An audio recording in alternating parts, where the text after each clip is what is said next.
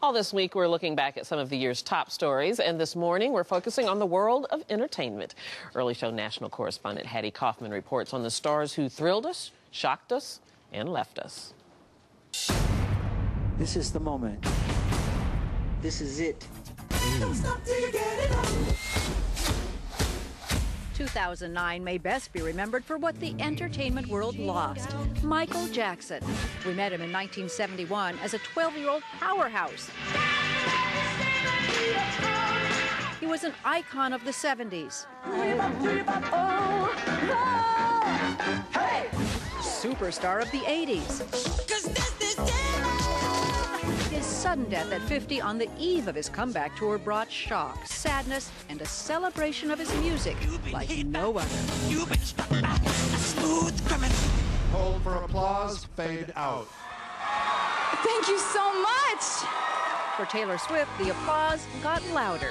She turned 20, won awards that usually take a lifetime, and scored sympathy points when Kanye West really crashed for one I'm moment in the finish. spotlight. But Beyonce had one of the best videos of all time. Adam Lambert had his own award show controversy. The glam rocker's racy moves slowed but didn't stop his post idol momentum. I did get carried away, but I, I don't see anything wrong with it. It was hard to take your eyes off Lady Gaga's outrageous costumes. A year ago, she was an opening act, but her sexy style brought her center stage.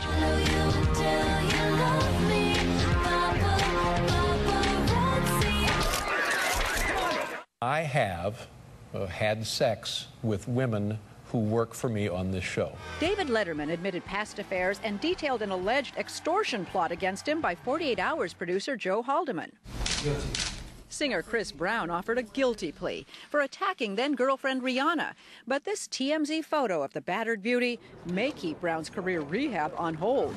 It's sad it's cut short. John and Kate plus eight subtracted one when Kate Gosselin filed for divorce. With the series now canned, Kate is shopping around a talk show. Meanwhile, Oprah, the world's most famous talk show host, announced that next season, her 25th, will be her last. Hollywood celebrated a record year at the box office. Paranormal Activity, made for only 15,000, scared up 100 million in ticket sales. And New Moon brought Twihard fans a sequel to scream about. And we remember those who took their final bow. From the CBS News Control Center. Man on the way to the moon. Like a comet Boy. blazing across the evening sky. Here's Johnny. Gone too soon. Like a rainbow About my kids. fading in the twinkling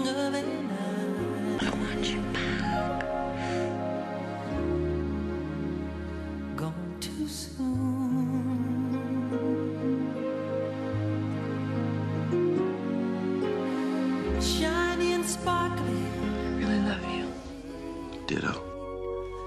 like a sunset, dying with the rising of the moon. Daddy has been the best father you could ever imagine. Gone too soon. Hattie Kaufman, CBS News, Hollywood. Just wanted to say I love him so much.